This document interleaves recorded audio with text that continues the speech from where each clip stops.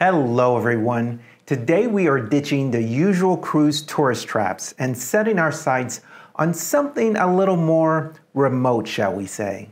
We've been obsessed with cruising for years, hitting all the popular ports and soaking up the sunshine, right?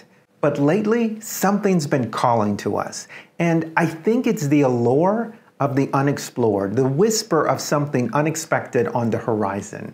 And fortunately, that's where expedition cruises come in.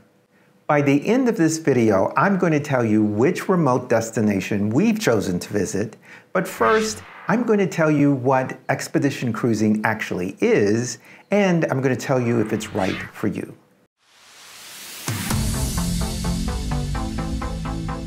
Forget the giant floating resorts with endless buffets and crowded pools. Expedition cruises are all about getting up close and personal with the most incredible untouched corners of our planet. Think smaller ships designed for maneuverability and exploration, with fewer passengers and a more intimate atmosphere. It's a complete shift in focus. These cruises prioritize expert led explorations, thrilling zodiac landings on pristine shores, and wildlife encounters that will leave you speechless. Now let's talk about the destinations that these types of cruises typically target. We're about to unveil some serious remote gems that more traditional cruises typically can't reach.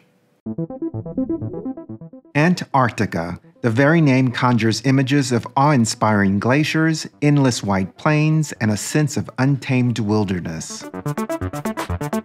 Expedition cruises allow you to witness this frozen wonderland firsthand, waddling alongside penguins on land and coming face to face with majestic whales breaching in the icy waters.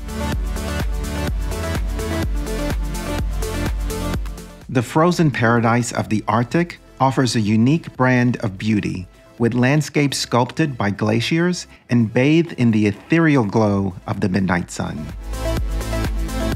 Expedition cruises here give you the chance to spot polar bears in their natural habitat, witness the breathtaking phenomenon of the northern lights dancing across the night sky, and experience the stark beauty of a world untouched by time. In the Galapagos Islands, you can follow in the footsteps of Charles Darwin himself and discover the wildlife that inspired his theory of evolution. These volcanic islands are home to giant tortoises lumbering through the undergrowth, iguanas basking on the lava rocks, and the iconic blue footed boobies displaying their flamboyant courtship rituals. The world is dotted with countless other hidden islands and archipelagos that can only be reached with an expedition ship. Each one of these offers its own unique ecosystem and kind of unique cultural tapestry. For example, expedition cruises can take you to the volcanic landscapes of the South Pacific, where tribal villages and lush rainforests meet crystal clear waters. Or perhaps you'd prefer the untouched beauty of Southeast Asia, with towering limestone formations jutting from turquoise waters, or hidden coves waiting to be explored. I would also include remote islands in this section, such as Easter Island, St. Helena, and the Falkland Islands, because each one of these is remote and steeped in history and beauty and a bit of mystery. For the truly adventurous, expedition cruises offer the chance to push the boundaries of exploration and venture into regions where few have set foot before. Just imagine cruising through untouched fjords, navigating uncharted waterways, and being among the first to encounter wildlife in pristine habitats. The thrill of discovery awaits around every corner on these groundbreaking voyages.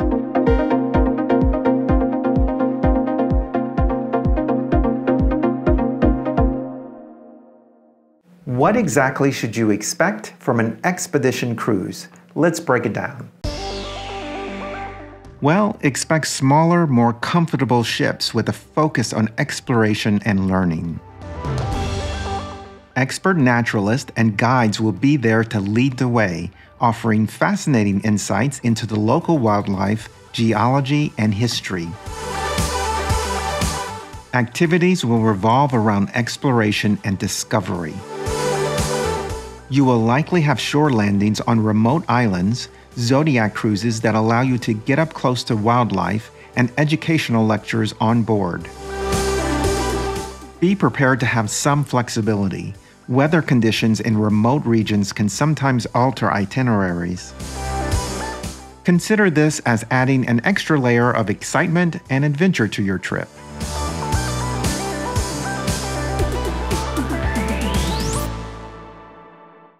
So, who is expedition cruising best for? It's not exactly for everyone. It's best for those adventurous souls who crave something beyond the mainstream. If you're passionate about nature, wildlife, and exploration, and don't mind a touch of adventure, then expedition cruising is for you. It's ideal for those who are curious about the world and want to experience destinations in a more authentic way. Do keep in mind that someone who undertakes this kind of cruise will encounter some potential challenges, such as unpredictable weather and physical activity involved in some excursions that include zodiac landings and long hikes. Also, the cost factor may be an issue for many. Expedition cruises tend to be more expensive than traditional cruises and offer a unique value proposition.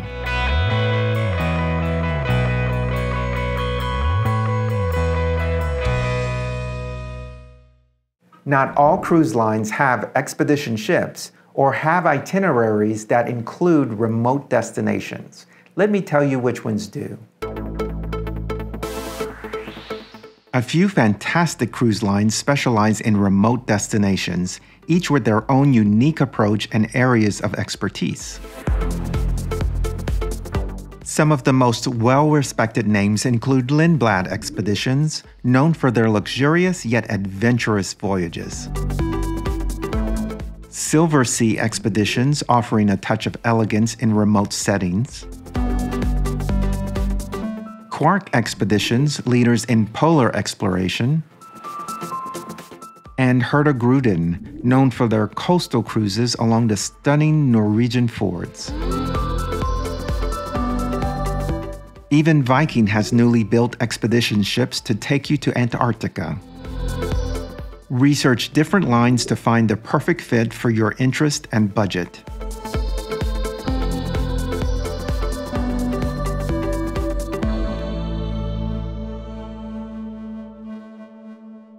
All right, folks, after all that info, I can't resist any longer. We've decided to take the plunge and go to one of these remote destinations ourselves. Which one is it?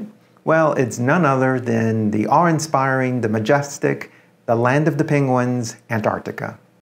We can't wait to share our adventure with you, so stay tuned for upcoming videos. In the meantime, let us know in the comments below what remote destination are you most excited about exploring.